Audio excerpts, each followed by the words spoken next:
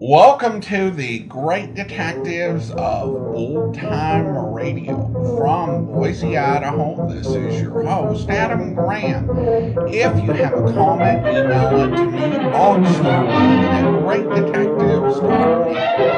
Follow us on Twitter at Radio Detectives and become one of our friends on Facebook, facebook.com slash Radio Detectives.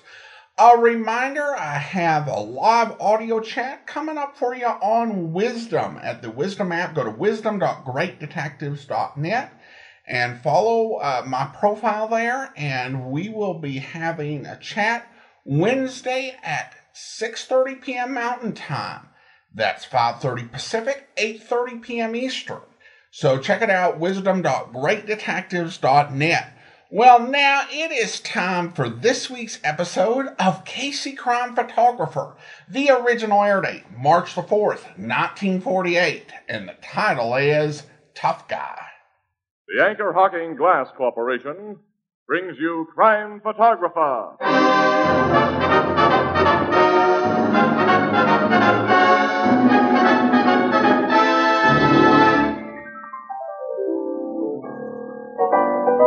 Ethelbert. What are you thinking of? I was just thinking how differently they teach kids to write today. You mean you went to school, Ethelbert? Uh, what I mean is they don't teach them to write the ABCs today. No? No, they teach them to write whole words. That sounds reasonable. Look, here's a page from my little nephew's copybook. Read it. Wow. This is something we got to get Tony Marvin to read. You go ahead, Tony.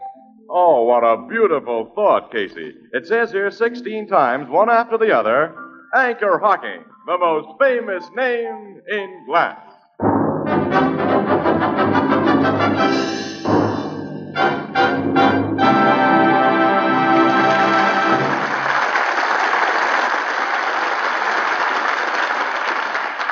Good evening, ladies and gentlemen. This is Tony Marvin. Every week at this time, the Anchor Hocking Glass Corporation of Lancaster, Ohio, and its more than 10,000 employees bring you another adventure of Casey, crime photographer, ace cameraman who covers the crime news of a great city. Our adventure for tonight Tough Guy.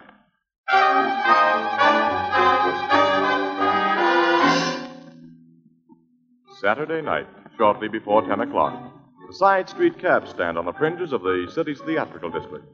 A tall man, dressed entirely in gray, detaches himself from the doorway of a shabby hotel where he's been loitering and approaches a taxi that has just moved up to the first place in line. He opens its door and. Take me up to 132nd Street. Yes, sir. Whereabouts in 132nd? I'll tell you when we get there. Just take the shortest way. Okay. You a good driver? I don't get no complaints. You look kind of young to me, inexperienced. How long you been hacking? Long enough? Yes, you. How long? Couple of months. Figured you were kind of wet behind the ears. Look, mister, I drove army tanks from Normandy right up to Berlin. I think that ought to qualify, qualify me to sit behind the wheel of a hack. Oh, you're next GI, huh? Your uh, hack license here says your name is Isidore Goldfarb. That's right. Watch your driving, Izzy. And watch your step. And we won't have no trouble. Now, look here, mister. I don't like your kind of talk. If you're looking for trouble, get yourself another taxi. And I like this taxi, and I like you. you know where the Sutter Avenue Theater is? Yeah, it's off 132nd. Well, drive me past there after we get to 132nd. I want to see what movie's playing at the Sutter Avenue Theater.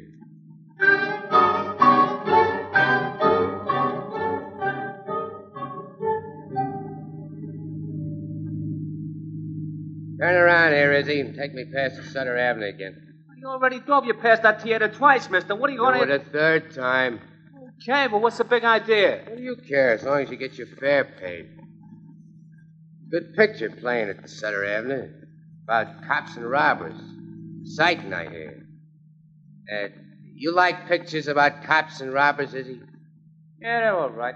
Yeah. They're made for jerks like you. Now, wait a they minute. teach you that crime don't pay. Stop here, let me out. Mister, I'll be glad to. Here's two bucks. So long. Wait a minute, Mac. The meter says 240. You Want to make something out of it? Oh, I. Guess that's a gun you're holding inside your pocket. Start something. You'll find out if it is. I was only kidding about the dough, Sap. Here's a five spot. Keep the change and forget you ever saw me. Remember that, punk. Hello.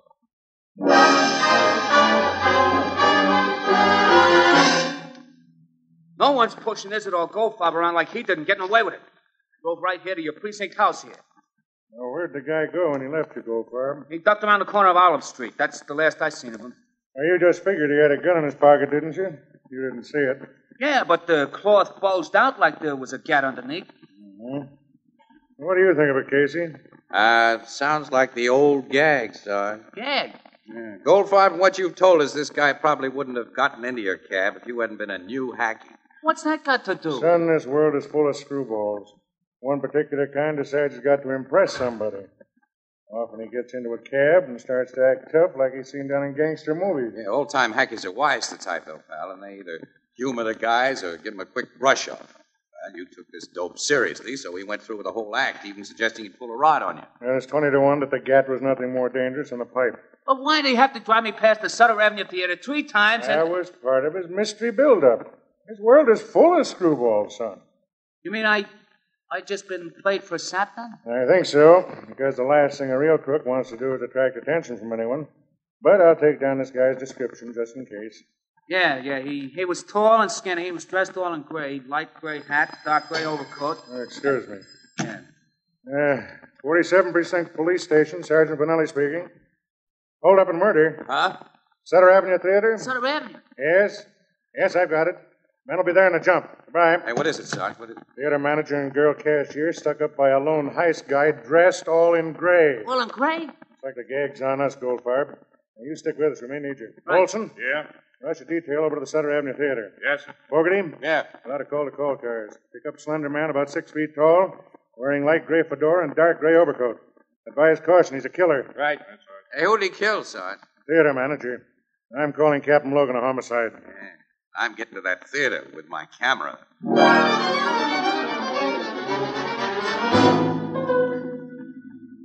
Uh, well, wait just a minute, Miss Summers. Uh, I want still another picture of you. Stand on the left side of that office door this time. I, I'm so upset, Mr. Casey. I, I can't pose Now, anymore. look, this won't take a second. This will be a profile shot. You've got a swell profile.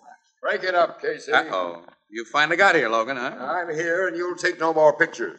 Hey, You precinct guys had no business to let this newspaper. Don't about- blame them, pal. I got here at the same time they did. Pipe down. The dead man's in that office, Sergeant. Yes, Captain.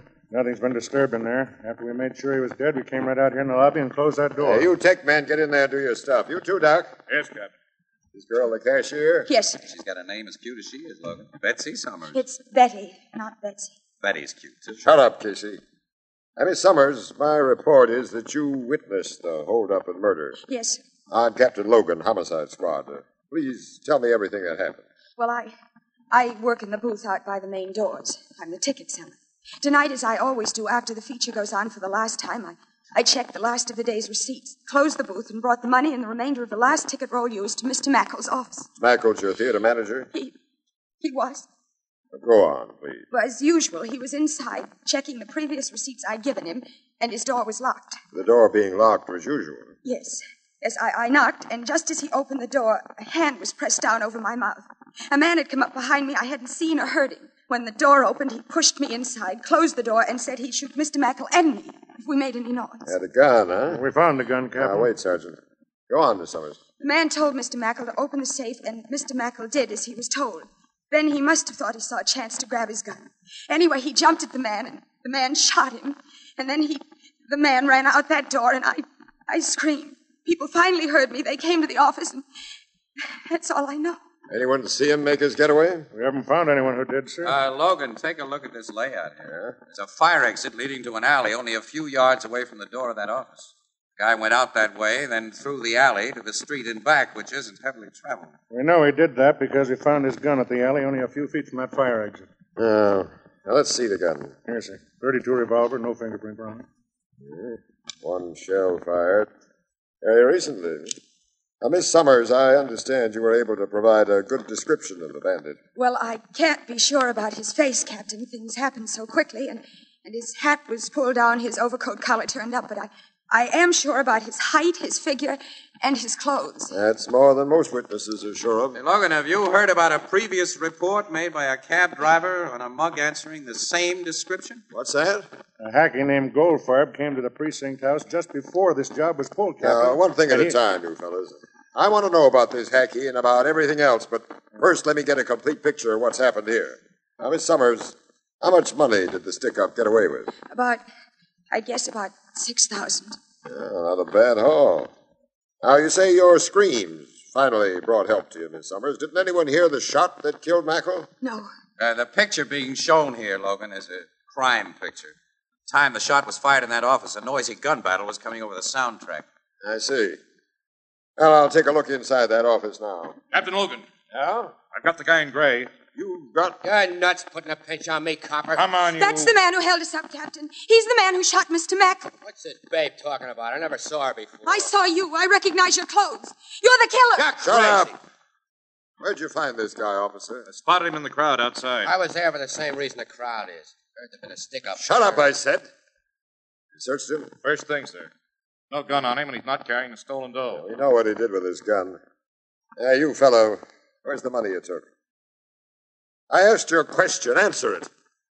Twice before you told me to shut up. I'm taking that advice till I see my lawyer. Stuff like that'll get you no place. Where's the dough? I give it to charity. Well, since you want to play it the hard way, take him down to headquarters, boys.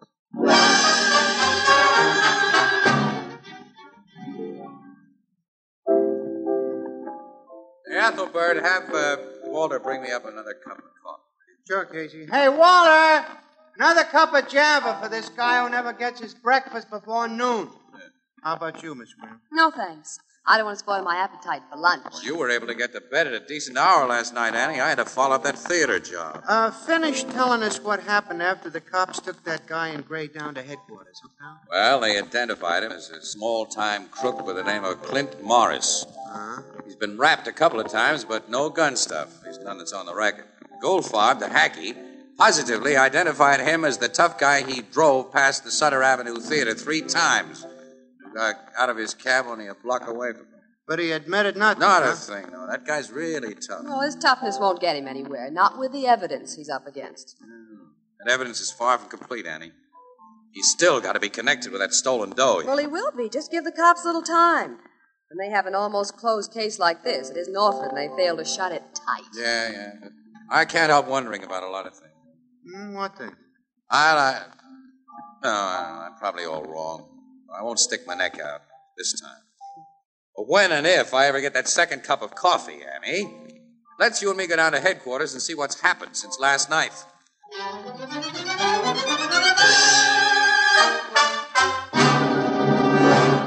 This is what's happened. The case against Morris is completely blown up. Blown up, look.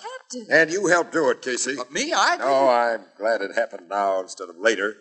The pictures you took of Morris right after his arrest, pal, one of them ran in this morning's Express. Uh-huh. Right on page one, too. Well, a guy saw it, a conscientious guy who runs a corner drugstore only three blocks from that theater. Yeah. He comes in here with three other guys about an hour ago, and they all swear that Morris was in the drugstore when the stick up and the murder was committed.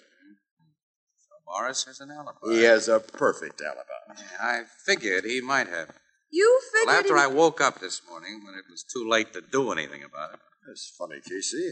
I got about the same idea at about the same time. Yeah? Huh? you men are so clairvoyant. No, Annie, no. We're slow on the uptake. In fact, we're dumb. I don't get it. Sit down, chums.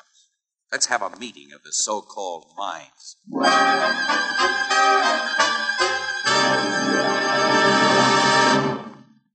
Here's how to brighten up your breakfast table for years to come at a cost of only a dollar or two.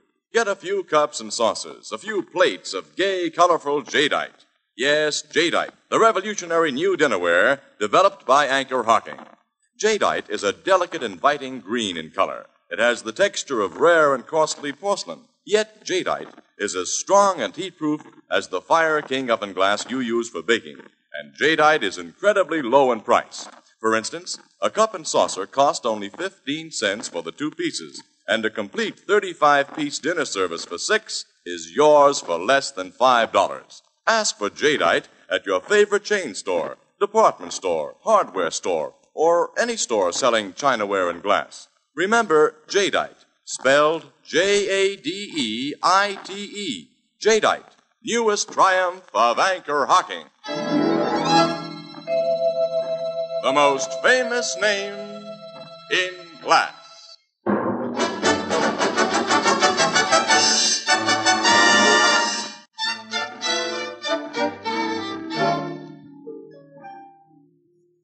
First, Logan, have you freed Morris? No, but I'll have trouble holding him much longer. We've got nothing on him now. His alibi is on the level. There's nothing he can tell you. I think there's plenty he could tell, Eddie. Guess Logan does, too. Yeah. The guy made himself look guilty, Miss Williams. You mean by his actions with that cab driver? Why, sure. Morris deliberately called attention to himself. I figure now, when it's a little late. And he was working with another guy. Another guy about his height and figure who wore the same kind of clothes. And the other man did the sticking. Yeah. While Morris was establishing an alibi. And Morris got himself arrested, so the other guy'd have plenty of chance to get away with the dough. Um, I don't altogether agree with that theory. Why not? Why should there have been another man in the deal? Well, the girl cashier saw him. Yeah, and only the cashier saw him. Well, that girl. Uh huh. Yeah. Yeah, she was trusted by her boss. He'd have opened his safe while she was there as a matter of course. She could have shot him under cover of that noisy picture and, and have thrown the gun into the alley from that fire exit. Well, sure. Stuck the dough in a temporary hiding place before she yelled. Yeah. Morris, her boyfriend, would be pinched for the job before any kind of a search could be made. Well, you let her go. She had all night and this morning to recover that dough and to really hide it. Have I been dumb? And well, have I been dumber? I listened to Goldfarb and told him his tough guy passenger had been putting on an act. and I fell for the act. I'll turn Morris loose, have him tailed night and day. Eventually, he'll contact that Summersdale or whoever worked with him, and yeah, then. yeah. Yeah. That'll take a long time, Logan. Well, of course, you know a quick, easy way. Um, maybe. The uh, Summers babe is a pretty cute little number. What's her looks got to do with it? Oh, to Casey, a gal's looks have everything to do with everything about it. Now, you're wrong, Annie. You're wrong. But that applies to a lot of guys less smart than I am. It might apply to Morris. What are you driving at? Well, deals between men and women that result in robbery and murder are seldom just business deals. Look, they made us fall for a corny old trick, pal. I think we can make them fall for one, too.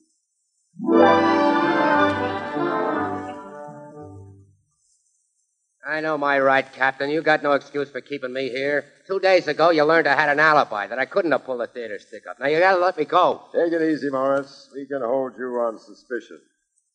Casey, this guy denies everything. Mm-hmm. He sounds on the level to me, Logan. Uh, you don't know his kind like I do. I am on a level. Oh, look, Casey, you're not a cop. You must know I'm getting a raw deal here. Can't you do something through your paper? Oh, no, or- no, I'd like to, Morris. You know how things are.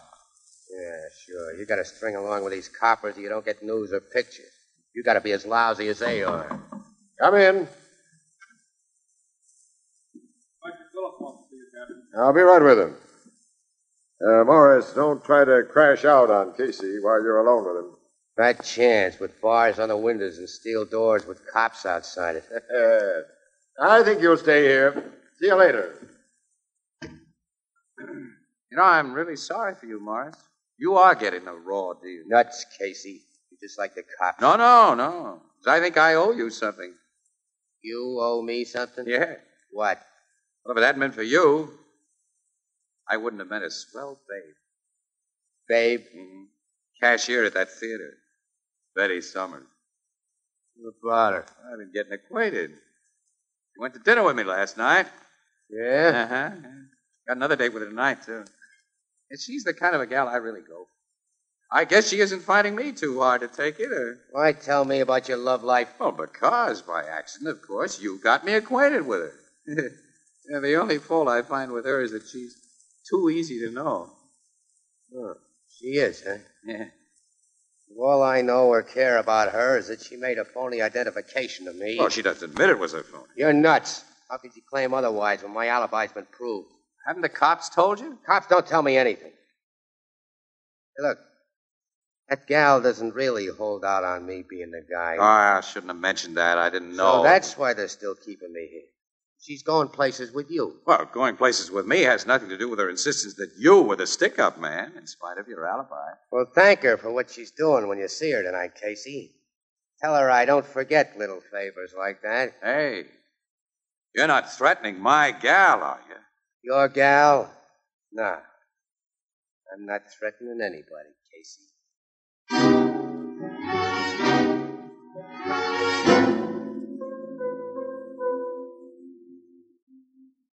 Well, thanks very much for letting me take these additional pictures of you, Miss Summers. Oh, you're welcome, Mr. Casey. You know, it's an awful nice little apartment you have. here. It's comfortable. Rent's cheap. That's good. That's all a working gal can ask for. Which reminds me, I gotta be getting to work. You'll excuse me. Oh, sure, yeah. I'll be on the way right away. Say, I guess it isn't easy for you to go back to that theater every day after what happened. No, no, it isn't. I think I'll have to give it up and get another job.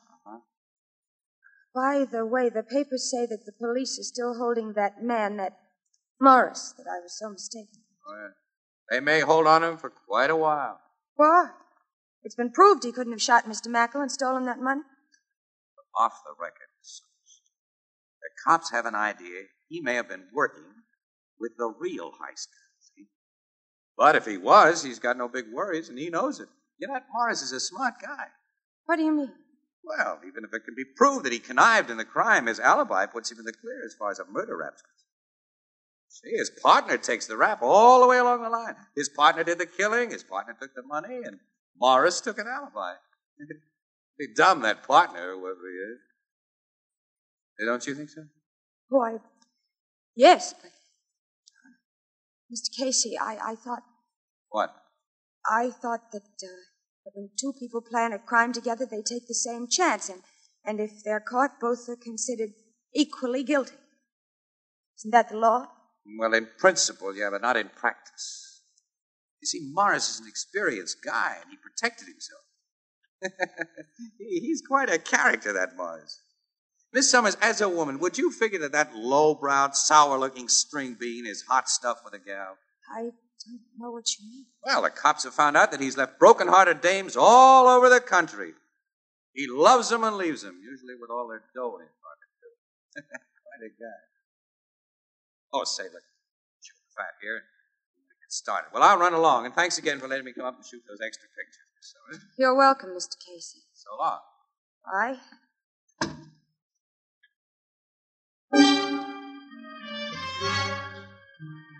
Who's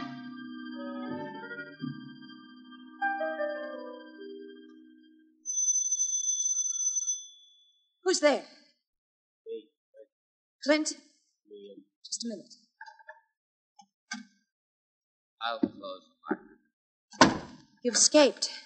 No, the cops turned me loose a couple hours ago. I'm legally free. Surprised, ain't you, Vic? Surprised that you were foolish enough to come to my apartment. We're not supposed to know each other, and if you were followed. I wasn't smart enough to know what I'm being tailed. You're smart in a lot of ways. Yeah. So are you, babe. I wasn't, but I'm learning. You learn fast. Too fast. No, I learned almost too late. But I can think when an idea hits me in the face, Clint. And I've been thinking hard ever since I started for work this afternoon. I'm glad to see you tonight. That goes double. Everything you said. But I thought I might have to stall around before I could see you. Your boyfriend left. My boyfriend? Yeah, I listened for a long time outside your door there to make sure you was home. What are you talking about? You played me for a sap.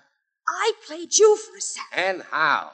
After my brains playing that theater job. I even told you how and when to shoot your boss and where to hide the dough. Sure, you planned all the dirty work for me while you set up an alibi that'd keep you in the clear. That alibi will keep me in the clear. If you had the chance to rat on me, and you're the kind of wood rat, you little double crosser, trying to keep me in jail, going out with guys the minute I'm put away. I didn't. Don't lie to me. Clint, Clint, let me go. I'm gonna kill Help! you for what you did. I'm gonna kill you. Help. Your mitts over her throat, Morris. Take 'em off. Look it. You, you cops were outside that door listening. And we heard a mouthful from both of you. Your alibi won't do much good now, Morris. This was a plant Casey. You trapped. Yeah, and how you walk right into it. Casey, you. Uh, uh, call me sweet. Or didn't you know? I'm your boyfriend.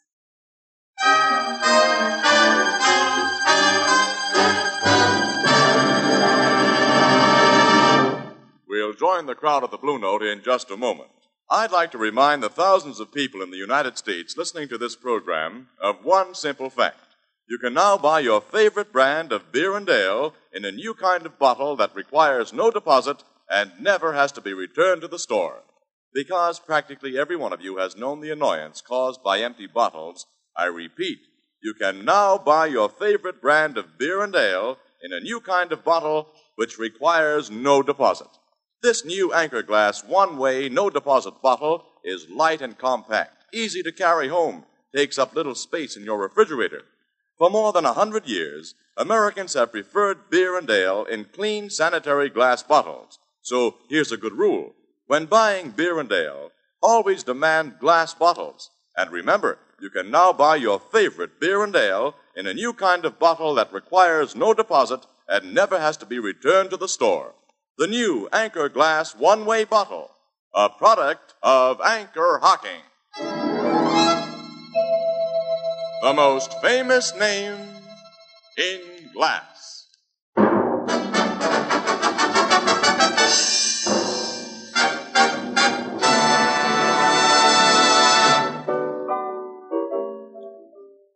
Cops found the stolen money, huh, Casey? Yep, Ethelbert. Betty Summers told him where she'd hidden it. She told him everything. And what she didn't tell, Morris did. After those two former lovebirds started to talk, it was hard to shut them up because each one of them was blaming the other for the mess they'd gotten into. I'll bet they blamed one another most for believing the stuff Casey told each one about the other, huh, Miss Wiz? well, that did seem to be a pretty sore point with them. What made you figure they was that way about one another, Casey, and that you could bust them up the way you did?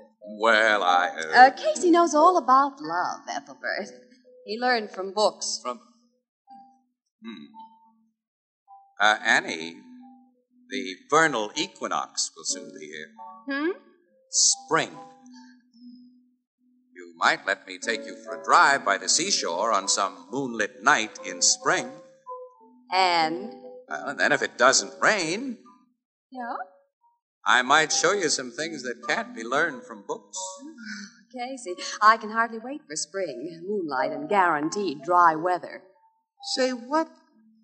You two are spoofing. Why, Ethelbert? I don't approve of spoofing the, the, the tender passion. As my sister Edna says, quote, love may not be all it's cracked up to be, but folks who won't give it a try ought to be cracked down on. Unquote, and I got business to attend. I'm um, afraid Ethelbert and Sister Edna have something, Casey. Ah, yeah, Annie. Hmm, afraid they have. Uh, it, it's almost spring. There's no moonlight, and it's raining. Well, who cares? Let's go.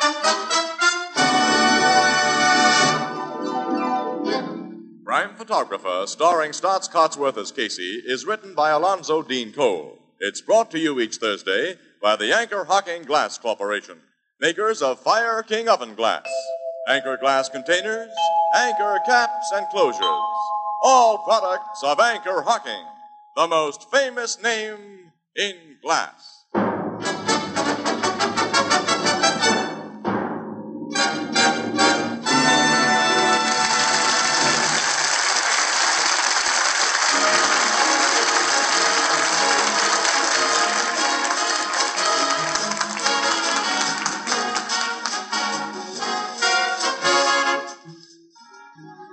Photographer is directed by John Dietz and is based on the fictional character of Flash Gun Casey, created by George Harmon Coxe.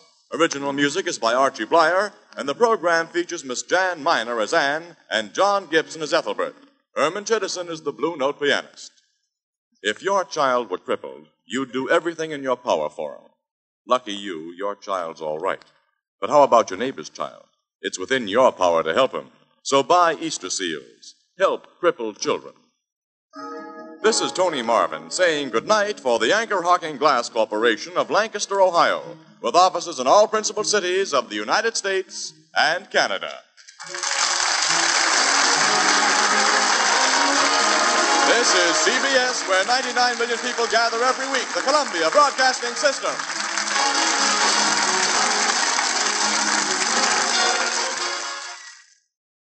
Welcome back. Well, I like the end of this episode. Casey tends to follow this sort of trope that I don't much care for, uh, where he kind of teases and trolls Anne about potentially uh, romancing her. And the same thing happened and Let George Do It, probably a few other programs as well. But I really loved uh, Ethelbert calling them out on it in the way that only Ethelbert could. And I was totally with the studio audience on that. So I really liked that. Thought that was a nice little ending, and I enjoyed it thoroughly.